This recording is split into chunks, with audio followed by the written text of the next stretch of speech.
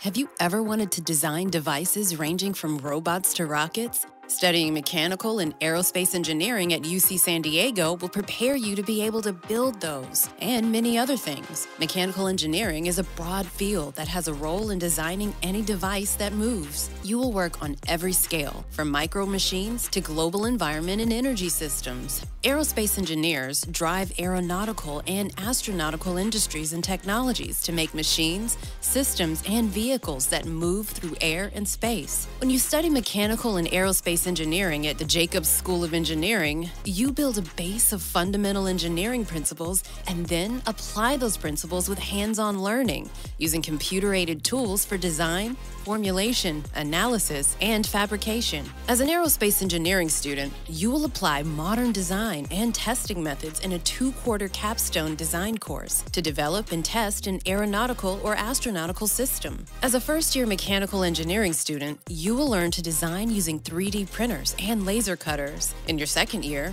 you'll use sensors and microprocessors. As a fourth year student, you will work on a real world capstone design project. You can add one of five specializations to your degree controls and robotics, fluid mechanics and thermal systems, material science and engineering, mechanics of materials, and renewable energy and environmental flows. As a graduate, you will have employment opportunities in fields such as biomedical devices, energy, transportation, product design, and defense.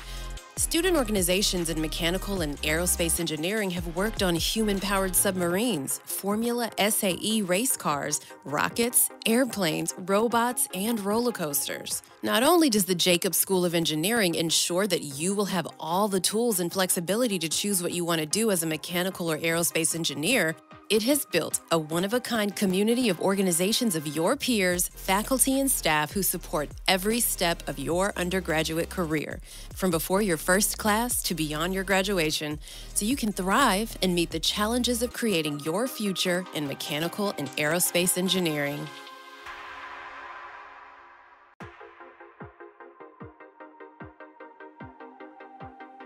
I, at first, when I you know didn't have any knowledge about it, I thought all mechanical engineers do was just like gears and cars and, and that stuff. But when I got here, I learned that the breadth of topics that we cover is actually humongous, and um, it's something that actually appeals to me because there's just so many paths you can take and in all these applications that mechanical engineering can apply to. So we learned about fluids, circuits, solid mechanics, you know, everything in between. My first hands-on course, I think it was just called MAE 3. As for the course title, I don't remember anymore, but um, for the first half of it, we built like this clock project. Um, for the second half of it, we built uh, this robot that could compete in this like special competition setting that the professors put out for us.